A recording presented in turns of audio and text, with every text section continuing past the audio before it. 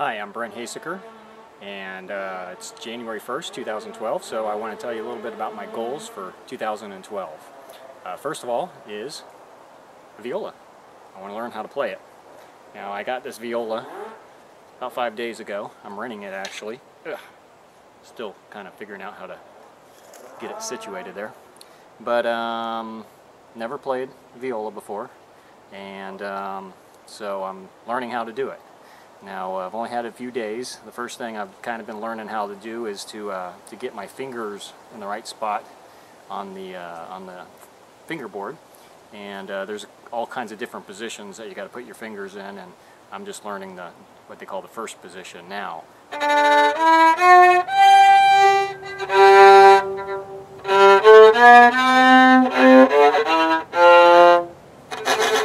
This is the hardest string right here, the highest string.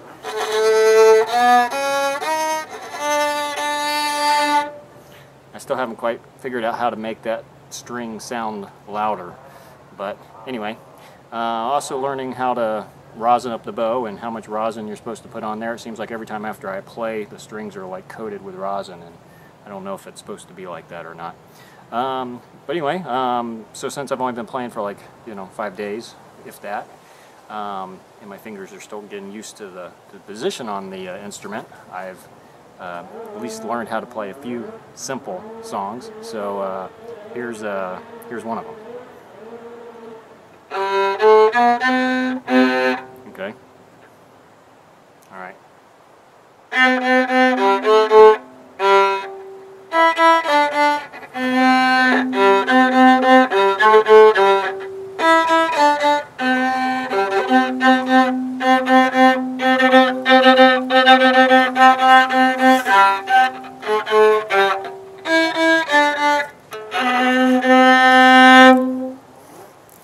Okay, so that wasn't all that great, but um, like I said, I'm just learning how to play, and uh, hopefully in a few months from now, I'll actually be able to play some some real uh, music.